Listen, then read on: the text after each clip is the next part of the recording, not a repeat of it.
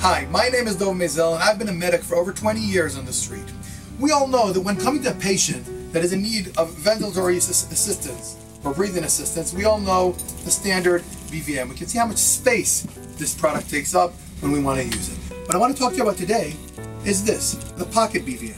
The Pocket BVM is a small device, 75% smaller than the standard storage space of the BVM. And what we have in here is very simple.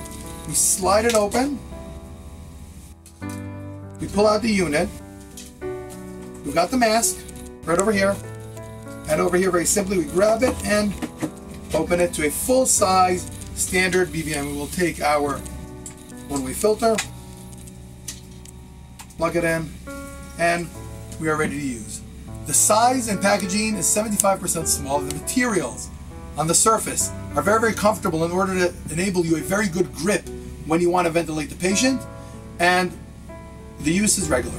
All connectors are standard, your standard ET tube connector, your standard positive end, end expiratory pressure PEEP, PEEP valve is connected over here, got the reservoir bag over here, the oxygen, and the oxygen connector. This product has been adopted by EMS services, tactical units, and military services around the world because of its compact size and packaging and easy to use in the field. When wanting to close up and package the Pocket BVM back into its packaging, it's actually quite simple.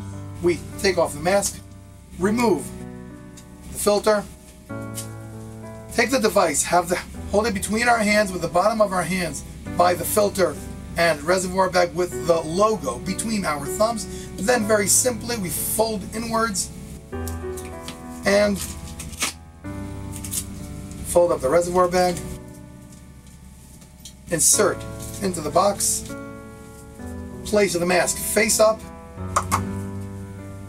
and very simply seal it shut. And that's the Pocket BVM.